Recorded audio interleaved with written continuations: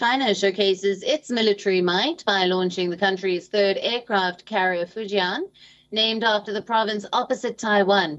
The launch comes at a time when tensions over the island nation are simmering in the Indo Pacific region. According to Chinese state media, the domestically designed and built carrier Fujian was launched amid champagne, colorful ribbons, water cannons, and smoke at the Jiangnan shipyard in Shanghai. Dozens of Navy personnel lined up and sang the country's national anthem in front of the ship that reportedly comes with a full length flight deck and catapult launch system. Now, the Fujian will join China's two other aircraft carrier, the Shandong commissioned in 2019 and the Liaoning, which uh, China bought secondhand from Ukraine in 1998 and refitted domestically. China is still honing its ability to operate the carriers and integrate them into battle groups, something the US has been doing for decades with its 11 aircraft carriers.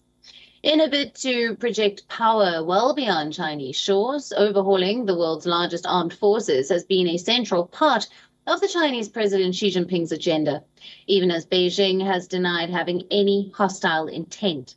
The Fujian's launch put People's Liberation Army's increasing capability on display at a time when the relations between the US and China have soured over Taiwan. The island nation says that it attaches great importance to China's military developments.